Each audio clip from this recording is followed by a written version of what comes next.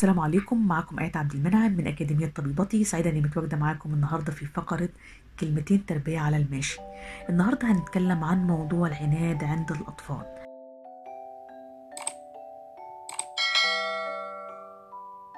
يهمني ابتداء إني أركز على معلومة أساسية إن العناد مش سلوك مرضي عند الطفل.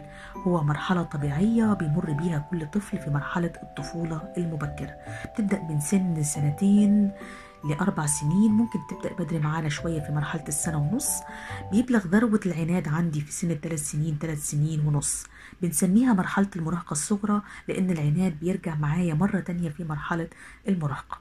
لازم كل مربي لو ما ظهرش عنده عند عند ابنه صفة العناد ولو بنسبة ضئيلة يسأل المختص التربوي هو ما ظهرش ما ظهرش العناد عندي عند ابني ليه؟ طبعا هو بيجي لنا بيشتكوا لنا أغلبهم إنه أغلب الشكاوى عندنا حتى في الصفحة إن ابني عنيد المفروض العكس لأن هي صفة طبيعية من خلال وهي أساسية في تكوين شخصية الطفل. من خلال العند بيتعلم خمس مهارات الطفل. بيتعلم صفة مهارة الاستقلالية مهارة الاعتماد على الذات مهارة اختبار القدرات بيتعلم مهارة بناء الذات. الأهم كمان بيتعلم مهارة التفكير.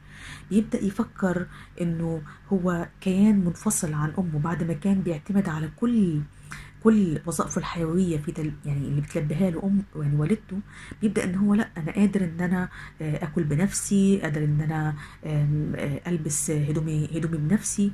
طبعا لو إحنا لا سمح الله لا سمح الله طمسنا صفة العند تماما ولغيناها عند الطفل ما نجيش نعاتب نفسنا لو ابني راح على المدرسة وكان انطوائي شوية كان متعلق بيا زيادة عن اللزوم لأني أنا مش سمحت له فرصة إن تنمو عنده مهارة الاستقلال الاستقلالية أو الاعتماد على الذات. فسبحان الله هو ربنا حطها فطرة في الولد علشان يبدأ يحصل فيه انفصال تدريجي يبدأ يسعد نفسه بنفسه يبدأ أنه هو يكون عنده نوع من أنواع الاستقلالية. أنا مش لصيق تماما بالأم طبعا من من أخطر الأمور لو إحنا طمسنا عنده كمان مهارة التفكير هيطلع ابني قراراته مش مش من ذاته. ممكن يتأثر بكلام أصدقائه ممكن يتأثر بكلام الإعلام ممكن يصير عنده ميول لأفكار متطرفة لأنه خلاص أنا ما عادش عندي صفة إن أنا أفكر. ممكن الناس يقولوا لي لا طب ما هو لسه صغير مش هيتأثر. بس إحنا هنكون رسخنا عنده فكرة إنه الغلبة الأقوى إنه اللي هيقمعني واللي هيسيطر على أفكاري فأنا همشي معاه. فبالتالي أنا هنا طمست جزء, جزء كبير عنده عندي من شخصيته. طيب إزاي أنا أمر في مرحلة يعني إزاي أنا أمر بمرحلة العناد بسلام؟ لازم أول حاجة طبعا العناد بحد ذاته مش مشكلة طريقة تعاملنا معاه هي المشكلة. أول حاجة لازم تماما انفي صفة العناد عن ابني. يعني ما أبدأش كل شوية أقول له أنت راسك ناشفة وأبدأ أدور على كتالوج العيلة مين عندنا راس يعني مين اللي عندنا راسه ناشفة في العيلة؟ أنت طالع لعمتك أنت طالع لجدك أنت صعيدي. كل الكلام ده لازم نبدأ نوقفه. المقارنات السلبية لازم نبدأ نوقفها. شوف أخوك الكبير إزاي عاقل شوف إزاي هو مطيع وبيسمع الكلام. لازم نبدأ نوقف الحاجات دي. آه، تاني مسألة لازم أسيب له مساحة من الحرية إن هو يبدأ إن هو يكتشف ذاته ويلعب. آه، طبعا هو مش مقدر مساحة الخطر أنا لازم إن أنا أوفر له مساحة من اللعب.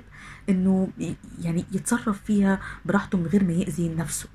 آه لازم أديله خيارات أعدد له الخيارات. طبعا الطفل العنيد خلاص أنا مش عايز آكل بيض. خلاص ممكن ياكل طب تاكل جبنة طب آه تاكل آه لبنة طب أعمل لك فول. أبدأ إن أنا أعدد له مثلا حتى في أصناف ال ال المأكولات مثلا في الطعام في الفطار لأن هي دي بتكون أحيانا مشكلة كتيرة عند الأمهات. حتى في مسألة اللبس أخليه هو يختار هو عايز يلبس إيه.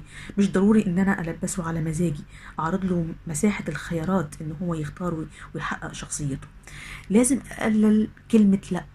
يعني لازم كلمة لأ يعني تتقلل في مرحلة الطفولة المبكرة ما اقولهوش لا إلا إذا كان في عنده خطر على على صحته البدنية. طبعا لازم إن شاء الله في الفيديو الجاي لأن مش عايزة أطول عليكم كتير. إن شاء الله هنتعلم إمتى نقول لا لأولادنا. في أربع حدود لازم الأهالي يتعلموها. إن شاء الله موعدنا في الفيديو الجاي هنتعلم إمتى نقول لا لأولادنا. السلام عليكم. وأتمنى لكم أوقات سعيدة. كانت معكم ايات عبد المنعم من أكاديمية طبيبتي